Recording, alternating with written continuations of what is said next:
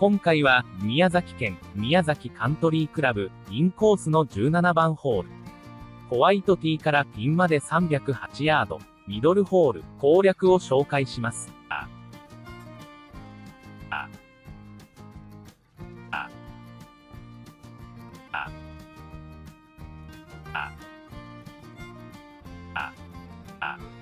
ティーショット、打ち下ろしで、わずかに左ドッグレッグの距離は短いパー4。ショートカットを狙って、左に打ちたいところだが、右高さ引くの地形を考えて、ティーショットは、右サイドから攻めたい。あ。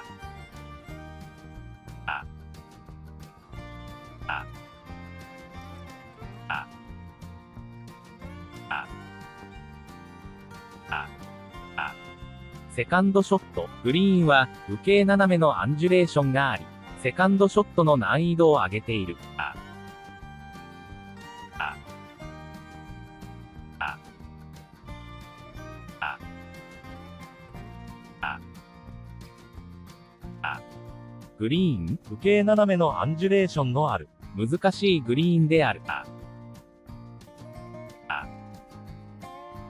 あ。あ。あ。あ。あ。あ。インコースの17番ホールは、パー4。ホワイトティーからピンまで308ヤード。ハンディキャップは14。短いミドルホール。難易度は18ホール中13位。平均スコアは5.55。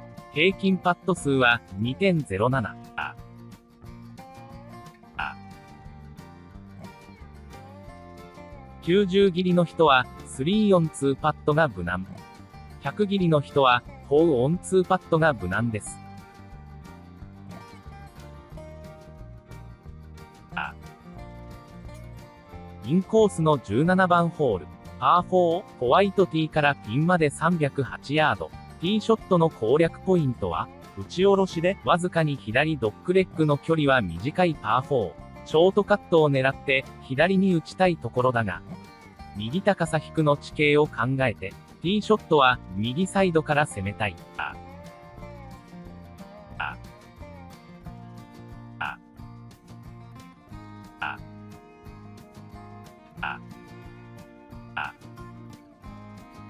インコースの17番ホール。パー4、セカンドショットの攻略ポイントは、グリーンは、右傾斜めのアンジュレーションがあり、セカンドショットの難易度を上げている。あ。